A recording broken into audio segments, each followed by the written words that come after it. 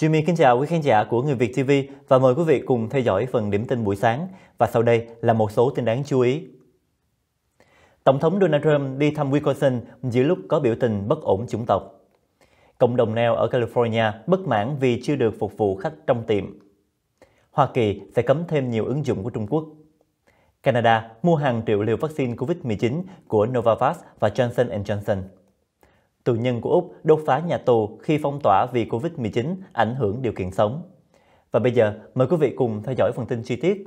Mở đầu phần tin ngày hôm nay thì bất chấp những lời khuyên nên tránh đến đó, Tổng thống Donald Trump dự trù sẽ lên đường đi thăm Kenosha, Wisconsin vào hôm nay ngày 1 tháng 9 để nêu bật chủ đề tranh cử luật pháp và trật tự của ông tại thành phố đang chìm ngập trong biểu tình sau vụ một người Hoa Kỳ gốc Phi bị cảnh sát bắn nhiều phát đạn. Chuyến thăm của Tổng thống Trump đến Wisconsin, một tiểu bang chiến trường nơi ông từng giành được chiến thắng bằng một tỷ lệ rất là xích sao vào năm 2016, sẽ cho ông cơ hội để nêu bật lập trường của ông ủng hộ cảnh sát tại tiểu bang mà ông hy vọng sẽ giành được chiến thắng một lần nữa trong cuộc bầu cử ngày 3 tháng 11. Hôm thứ Hai, khi trả lời họp báo về vụ thiếu niên 17 tuổi là Kyle Rittenhouse bị cáo buộc nổ súng bắn chết hai người trong các cuộc biểu tình ở Kenosha, Tổng thống Trump nói, Cậu ta đang tìm cách chạy khỏi đám đông rồi té ngã, sau đó bị đám đông tấn công rất là tàn bạo. Tôi đoán rằng cậu ta lúc đó đang lâm nguy, có khả năng bị giết. Tổng thống Trump cho biết các cơ quan liên bang đang điều tra tình trạng bất ổn dân sự do cánh tả gây ra. Quay sang phần tin đến từ California, thì cộng đồng thợ làm móng người Việt ở tiểu bang California cảm thấy bất mãn vì vẫn chưa được phép vào trong nhà làm việc, trong khi các tiệm hớt tóc và làm tóc lại được. Sự khác biệt này khiến họ cân nhắc sẽ có hành động phản đối chính quyền tiểu bang.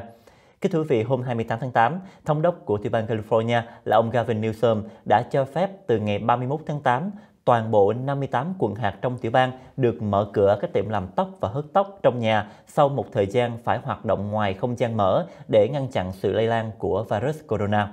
Ngoài ra, chính quyền của tiểu bang cũng ra hướng dẫn đánh giá các quận hạt theo 4 thang bậc về mức độ lây nhiễm COVID-19 là lây lan rộng, lây đáng kể, lây vừa phải và lây tối thiểu. Theo đó, đại đa số các quận hạt đều đang chứng kiến mức lây lan cao nhất là lây lan rộng. Chỉ có 3 quận hạt thưa thất dân có mức lây lan tối thiểu. Trong các quận hạt đông dân, chỉ có quận hạt San Diego ở cực nam của California là không bị lây lan rộng mà chỉ lây đáng kể. Cũng trong phần tin Hoa Kỳ thì cố vấn thương mại của Tòa Bạch Ốc là Peter Navarro cho biết nước này sẽ nhắm mục tiêu thêm nhiều ứng dụng của Trung Quốc sau TikTok và WeChat. Giữa lúc căng thẳng giữa Hoa Kỳ và Trung Quốc leo thang, Tổng thống Hoa Kỳ Donald Trump ngày 6 tháng 8 đã ký sắc lệnh cấm các công ty Hoa Kỳ giao dịch với ứng dụng chia sẻ video TikTok. Lệnh cấm có hiệu lực sau 45 ngày. Ngày 7 tháng 8, Tổng thống Trump đã ký sắc lệnh không cho phép các công ty Hoa Kỳ làm ăn với Tencent, chủ sở hữu của WeChat. Một tuần sau, ông tiếp tục ký lệnh hành pháp riêng cho ByteDance, công ty sở hữu TikTok, yêu cầu công ty phải thoái vốn hoạt động sau 90 ngày tại Mỹ, cũng như là xóa mọi dữ liệu của người Mỹ mà TikTok đã thu thập từ trước đến nay. Các công ty của Hoa Kỳ như Microsoft, Oracle và Twitter đang là các ứng dụng mua lại TikTok. Ngoại trưởng Mike Pompeo cũng nói Hoa Kỳ muốn cấm các ứng dụng của Trung Quốc không đáng tin cậy trên kho ứng dụng của các nhà mạng và hãng sản xuất điện thoại di động tại nước này. Ông cũng tuyên bố Washington muốn ngăn ứng dụng của Trung Quốc được cài đặt sẵn hoặc là cho phép tải về điện thoại và thiết bị không dây do các hãng Trung Quốc như Huawei sản xuất. Quay sang phần tin đến từ Canada, thì nước này vừa đạt một thỏa thuận với hai công ty Novavax và Johnson Johnson mua hàng triệu liều thuốc chủng ngừa đang trong vòng thử nghiệm của hai công ty này, theo lời của Thủ tướng Canada là ông Trudeau tuyên bố vào hôm thứ Hai ngày 31 tháng 8. Và tuần trước đây, Canada cũng ký kết với hai công ty dược phẩm hàng đầu khác của Hoa Kỳ là Pfizer và Moderna để có thuốc chủng ngừa COVID-19 từ hai công ty vừa kể.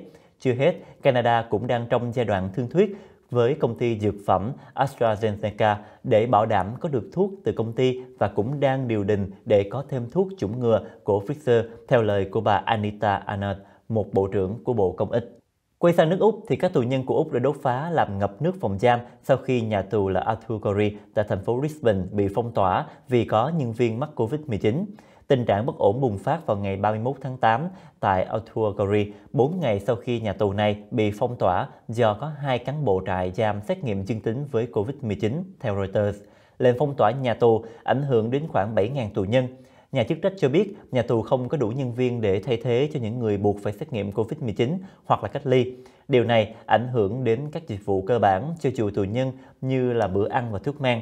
Khoảng 400 trong tổng số 530 nhân viên của nhà tù đang được xét nghiệm COVID-19. Ngoài ra, 170 tù nhân cũng phải xét nghiệm. Cảm ơn quý vị đã theo dõi phần điểm tin buổi sáng với Jimmy. Hẹn gặp lại trong phần tin kế tiếp.